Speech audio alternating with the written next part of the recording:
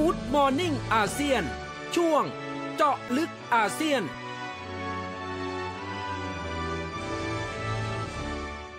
ช่วงเจอดลึกอาเซียนครับ คุณผู้ฟังน่าจะเป็นช่วงที่คนรอฟังกันมากที่สุดช่วงหนึ่งเพราะว่าเป็นโอกาสทางธุรกิจสำหรับคุณผู้ฟัง Good Morning อาเซียนนะครับ ครับ วันนี้คุยกับคุณพรณภาวงพันเสือประธานกรรมการบริษัทลาโบเต้กรุ๊ปจำกัด ผู้ผลิตสบู่แฟนซี ภายใต้แบรนด์ลาโบเต้ สบู่แฟนซี ชัดเจนขายไอเดียนะครับ แล้วก็ไปเจาะตลาดในต่างประเทศอย่างไร ตอนนี้พร้อมอยู่ในสายกับเจอดลึกอาเซียนครับ สวัสดีครับ คุณพรณภา สวัสดีครับ ค่ะสวัสดีค่ะ ครับ สวัสดีครับ ก่อนอื่นเลยนี่ผมก็ได้จริง ๆ เคยเห็นเคยผ่านตาผลิตภัณฑ์ของลาโบเต้ด้วยนะครับ แล้วก็พอเข้าไปดูในเว็บไซต์แล้วก็ Facebook ของลาโบเต้เนี่ยโหแฟนซีจริง ๆ หลากหลายมากนะครับ มีทั้งเอ่อมะละกอทำเป็นรูปมะละกอทำเป็นรูปทุเรียนยังมีเลยนะฮะก็เลยอยากจะสอบถามนิดนึงครับว่า จุดเริ่มต้นของสบู่ที่ทำไมมันถึงออกมา มีรูปร่างลักษณะมากมายหลากหลายแบบเนี้ยครับ มาเป็นมายังไงครับเอ่อจากจากเดิมอะนะคะ ที่เราคิดว่าสบู่ที่เป็นรูปทรงสี่เหลี่ยม รูปทรงวงกลมธรรมดาอะไรอย่างเงี้ยค่ะ เราน่าจะทำอะไรที่ ที่มันแตกต่างจากทั่วๆไปอะค่ะ เหมือนเป็นงานไอเดียขึ้นมา เป็นรูปทรงต่างๆอะไรอย่างเงี้ยค่ะ ก็เลยกลายเป็นพวกรูปทรงผลไม้รูปทรงดอกไม้อะค่ะอ๋อฮะ คือคืออยากจะทำให้มันแปลกขึ้น ใช่ค่ะ ให้ให้ครับมันแตกต่างจากสิ่งที่มีอยู่จากทั่วๆไปอะไรเงี้ยที่ที่ที่อื่นเขาทำอะไรอย่างเงี้ยค่ะ เราก็เลยคิดว่าทำอะไรที่มันแตกต่าง ก็เลยเกิดมาเป็นไอเดียเป็นสบู่ผลไม้อะค่ะ ครับครับเอ๊ะคุณพรณภานี่ทำเอ่อธุรกิจที่เป็นเป็น cosmetic แล้วก็ผลิตภัณฑ์ลักษณะแบบนี้มาอยู่แล้วหรือเปล่าครับ ใช่ค่ะ คือเราทำผลิตภัณฑ์เกี่ยวกับพวกโลชั่น ครีมทาผิว ครีมอาบน้ำอะไรอย่างเงี้ยค่ะ แล้วก็พอตอนหลังก็คือ เราก็ทำเพิ่มเป็นพวกสบู่ด้วยครับฮะฮะเอ๊ะทำสบู่กับทำครีมนี่มันยากแตกต่างกันยังไงไหมฮะแตกต่างค่ะ เพราะว่าทำครีมเนี่ย มันไม่ได้มีอะไรที่ที่เป็นงานไอเดียมากอือฮึก็คือ เอ่อมันมันก็เหมือนก็เป็นคือเป็นงานเครื่องจักรอะเนาะแต่ว่าพอเป็นงานสบู่ปุ๊บเนี่ยเป็นงาน handmade ร้อยเปอร์เซ็นต์เลย แล้วก็ต้องใช้ใส่ความคิดสร้างสรรค์เนี่ยเข้าไปที่สบู่ เราอยากใช้รูปทรงแบบไหนแต่งกลิ่นสีเงี้ยให้ดูเหมือนเป็นธรรมชาติมากที่สุดอะค่ะครับอ๋อฮะฮะเห็นในนี้ลาโบเต้เขียนบอกว่าเป็น spa soap ก็ก็ดูดู positioning ชัดเจนนะฮะ ค่ะทำไมถึงเลือกเป็น spa soap ครับเออเลือกใช้เป็นแบบธรรมชาติอะค่ะ อย่างเช่นสีใช่ไหมคะ แล้วก็จะเป็นสีแบบสีผสมอาหาร สีทำขนมเงี้ยค่ะ ครับ ก็แล้วก็น้ำหอมที่ใช้ก็จะเป็น เอ่อเป็นอโรมาเป็นเป็นน้ำมันเป็นสกัดอะค่ะ ครับค่ะ เห็นเห็นบอกว่าคุณพรณภาเองนี่ค่อนข้างประสบความสำเร็จในการเอ่อจัดจำหน่ายในการขายในการทำสบู่ลาโบเต้เนี่ย เห็นบอกว่าปีหนึ่งเนี่ยยอดจำหน่ายสูงถึงหลักร้อยล้านบาทเลยเหรอครับ ว้าว ก็เออใช่ค่ะ เพราะว่า อันนี้มันเน้นเป็นว่าเป็นเหมือนออเดอร์ส่วนใหญ่อะต่างชาติจะชื่นชอบอะอืค่ะมครับ เราก็เลยไปในหลาย ๆ ประเทศแล้วพอ แต่ละประเทศเขาสั่งเนี่ยเขาจะสั่งจำนวนเยอะเพราะเขาจะครับจะชอบมากอะค่ะ งานที่เป็นเป็นงานแบบงานแฮนด์เมแฮดนด์อเมย่างเงี้ยค่ะอืมครับอะต่างชาติก็จะชื่นชอบครับแล้วแล้วสั่งทีนี้ก็จะสั่งกันเป็นตู้คอนเทนเนอร์อะค่ะ อืมครับ ช่วยเล่าให้ฟังนิดนึงได้ไหมครับว่าที่บอกว่าไปหลายประเทศนี่ไปที่ไหนบ้างแล้วที่ไหนเป็นยังไงบ้างขายดีที่ไหนมากอะไรอย่างเงี้ยครับ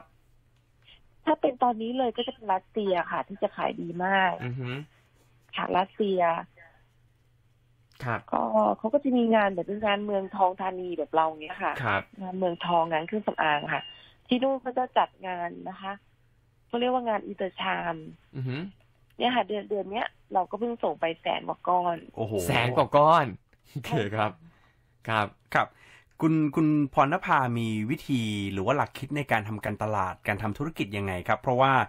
ไม่น่าจะใช่เจ้าเดียวที่ทำธุรกิจลักษณะแบบนี้เราเรามีจุดยืนยังไงฮะ ก็รักษาคุณภาพของสินค้านะคะ แล้วก็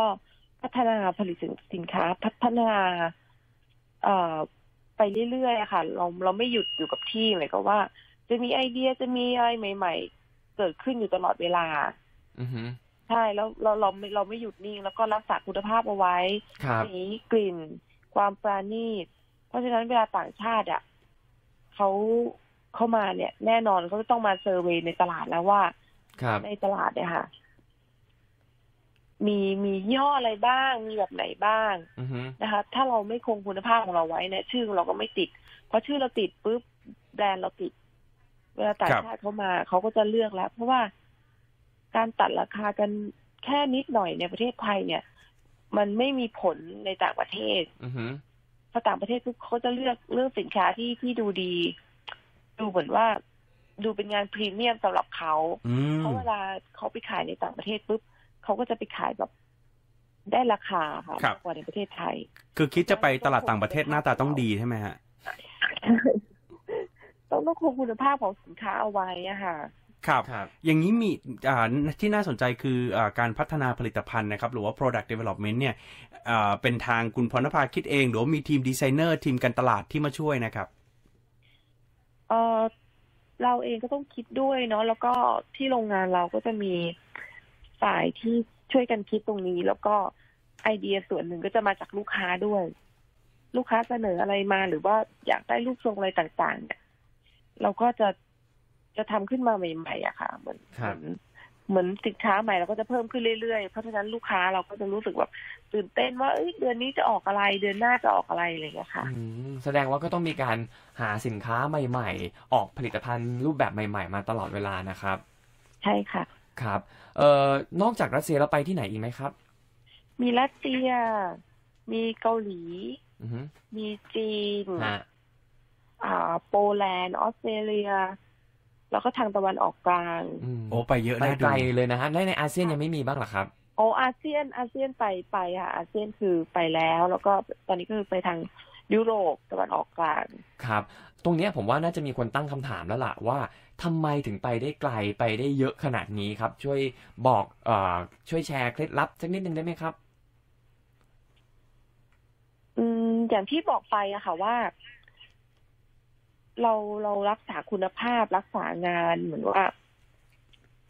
ทำให้ทำให้สวยอะค่ะครับอือฮึเคล็ดลับของเราคือเราเราจะแบบไม่ไปลดต้นทุนของสินค้า แต่ว่าเราจะคงคุณภาพของของสินค้าแล้วก็พัฒนาครับไว้แล้วแล้วเราก็จะพอเรามีชื่อเสียงเราติดตลาดปุ๊บเนี่ย ชื่อเสียงกันที่เป็นแบบปากต่อปากเนี่ยค่ะ มันอ่าฮะมันจะดีกว่าครัการบโฆษณาประชาสัมพันธ์อีกครับคือเขาเขาปากต่อปากกัน เวลาปุ๊บก็ก็จะเสิร์ชหาข้อมูลเข้ามาใน Google อะไรเงี้ยก็จะมาเจอเราครับครับครับวันข้างหน้าจะเห็นลาโบเต้ออกผลิตภัณฑ์ใหม่ๆ หรือว่าแตก product line ใหม่ไหมครับ ก็ต้องมีแน่นอนอยู่แล้วค่ะแต่ก็ต้องดูกันต่อไปว่าจะเกิดเป็นเป็นอะไรขึ้นไปอีกอะค่ะ ได้ครับเช้านี้ขอบคุณคุณพรณภาแล้วก็ผลิตภัณฑ์จากลาโบเต้นะครับ ค่ะค่ะขอบคุณค่ะ ครับครับ ก็เป็นอีกหนึ่งผลิตภัณฑ์เสียงสะท้อนครับ ของผู้ประกอบการไทยที่ส่งของไปขายต่างประเทศทำตลาดได้ดี ชัดเจนแล้วก็เป็นเรื่องใหญ่นะฮะ คือของดีส่วนหนึ่ง เราต้องบอกให้ได้ด้วยว่าของเราดีผ่านทางแพคเกจจิ้งและการออกแบบผลิรูตปร่างภัณหฑ์น้าตา ตัวสินค้าครับ ที่มันดึงดูดน่ะ อืมนะฮะเพราะอย่างของลาโบเต้เนี่ยคือเข้าไปนี่บอกเป็นสมุดแฟนซีนี่แฟนซีจริงๆนะ เห็นฮะแต่ละอันนี่โอ้โหเอ่อมะละกออย่างนี้เหมือนมากนะครับ มีรูปทุเรียนครับมีรูปนู่นรูปนี่นะครับอืมน่าคสรับนใจมากๆเลย คลื่นข่าวร้อยจุดห้า100.5 N Cut News Network